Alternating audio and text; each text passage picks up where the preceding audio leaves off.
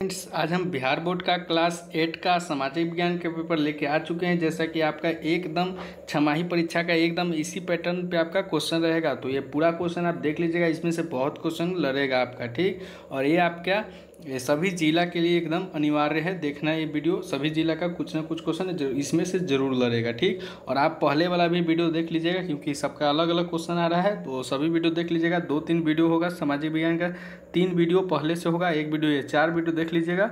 अभी दस दिन समय है, दस दिन में देख लीजिएगा, और इतना ही में से आपका पूरा क्वेश्चन आ जाएगा। और हम आपके साथ ही हैं ही हैं जो भी प्रॉब्लम होगा इंस्टाग्राम पर मैसेज ज़रूर कीजिएगा। इंस्टाग्राम का जो लिंक है डिस्क्रिप्शन में दिया हुआ है। और प्लेलिस्ट का भी लिंक जो है डिस्क्रिप्शन में दिया हुआ है, ठीक? और कमेंट करके ज़रूर बताएगा आप जो आपका जो जिला है वो कौन है, ठीक? जिस जिला का हमारे पास क्वेश्चन होगा वो जिला का क्वेश्चन हम करवा देंगे, ठीक? तो चलिए क्वेश्चन नंबर वन से स्टार्ट करते हैं। चैनल को सब्सक्राइब ज़रूर कर दीजिएगा, ठीक? चलिए क्वेश्चन नंबर वन है सही विकल्प के सामने सही का चिन्ह अंकित करें, ठीक? सही विकल्प के सामने सही का चिन्ह अंकित करना है। पहला क्वेश्चन है, कानून के द्वारा सती प्रथा का अंत कब हुआ?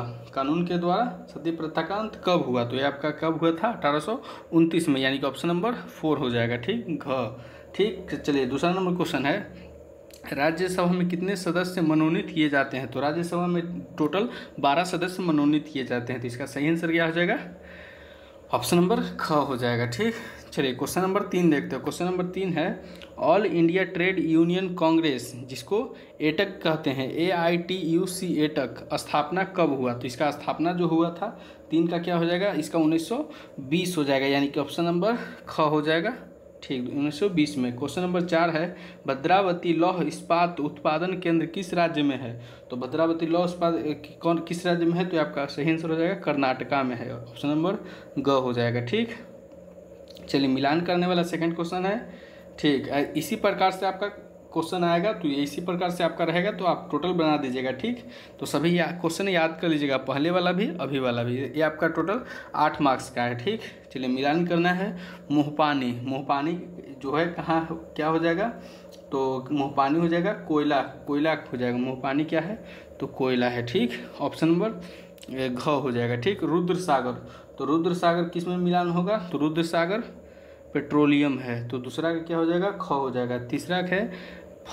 फ़र्क फरक्का तो फरक्का क्या हो जाएगा? ताप विद्युत, ठीक?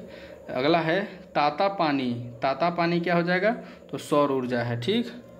चलिए क्वेश्चन नंबर तीन की के ऊपर तीन नंबर में है आठ नंबर का क्वेश्चन ये रहेगा, दिए गए उपयुक्त शब्दों में से रिक्त स्थानों की पूर्ति कीजिए, ठीक? क्वेश्चन नंबर फ़र्स्ट है, मुर्शिद कुली खां के बाद, डॉट डॉट बंगाल का नवाब बना। बंगाल का नवाब मुर्शिद कुली खां के बाद कौन बना था?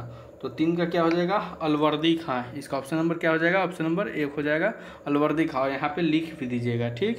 अगला है, मथुरा तेल शोधक केंद्र डॉट डॉट राज्य में है तो इसका दो का क्या हो जाएगा? दो का उत्तर प्रदेश हो जाएगा। यहाँ पे लिख दीजिएगा उत्तर प्रदेश, ठीक? अगला है, लोकसभा के लिए एंग्लो इंडियन समुदाय के सदस्य डॉट डॉट संख्या से मनोनीत किए जाते हैं। दो एक, दो या बारह तो इसमें दो मनोनीत किए जाते हैं, ठीक? और उसमें जो पहले क्वेश्चन आए थे, उसमें बारह मनोनीत किए जाते हैं, ठीक? क्वेश्चन नंबर अगला है, इतना ईस्वी में विधवा विवाह के पक्ष में एक कानून पारित किया गया था तो कब जो है, विधवा विवाह के जो कर सकती है, कब पारित हुआ था तो उन्नीस सौ छप्पन में हुआ था। ऑप्शन नंबर ए हो जाएगा, और यहाँ पे लिख दीजिएगा उन्नीस सौ छप्पन ईस्वी, ठीक? चलिए, चार नंबर क्वेश्चन है, किन्हीं चार प्रश्नों को उत्तर देना होगा, ठीक? क्वेश्चन नंबर पहला है आदिवा आदि, अविश्वास प्रस्ताव के से क्या समझते हैं? तो उत्तर हो जाएगा, अविश्वास प्रस्ताव मंत्री परिषद पर नियंत्रण करने का एक एक मज़ा, मज़बूत तरीका है। यदि संसद को संसद को यह लगता है कि मंत्री परिषद सही ढंग से काम नहीं, सही ढंग से काम नहीं कर रही है तो संसद में अविश्वास प्रस्ताव पेश किया जा सकता है, ठीक? दूसरा क्वेश्चन रहेगा, भारतीय संसद के तीन अंग हैं कौन कौन तो भारतीय संसद के तीन अंग हैं, राष्ट्रपति, लोकसभा, राज्यसभा, ठीक? क्वेश्चन नंबर तीन है, उद्योग से क्या समझते हैं? तो उद्योग से आप क्या समझते हैं? तो लिख दीजिएगा यहाँ पे, उद्योग की परिभाषा कच्चे माल को अधिक मूल्य के उत्पादों में, के रूप में परिवर्तित किया जाना उद्योग कहलाता है। एक उद्योग वस्तुओं वस्तुओं के वस्तुओं के खनिज उत्पादन खनिजों के निष्कर्षण तथा सेवाओं की व्यवस्था से जुड़ा होता है। चौथा क्वेश्चन है, विलय नीति का क्या मतलब होता है? विलय नीति का क्या मतलब होता है? विलय। चलिए तो इसका आंसर देखते हैं। सीधे युद्धों के अलावा भारतीय राज्यों को अपने नियंत्रण में लेने के लिए कंपनी के अन्य बहाने भी ढूँढने शुरू किए।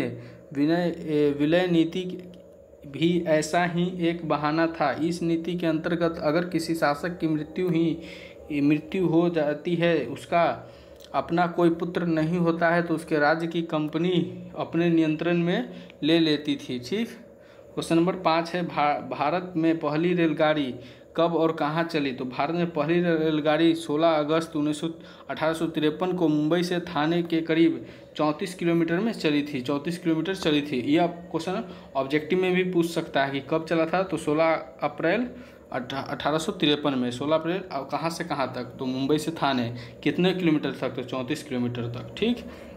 तो ऑब्जेक्टिव में भी ये क्वेश्चन पूछ सकता है। चलिए पाँच नंबर क्वेश्चन देखते हैं। पाँच नंबर क्वेश्चन है जो कि आपका दस मार्क्स का रहने वाला है, ठीक? क्वेश्चन है, किसी एक प्रश्न के उत्तर देना है, ठीक? दो प्रश्न रहेगा, किसी एक प्रश्न का उत्तर देना रहेगा।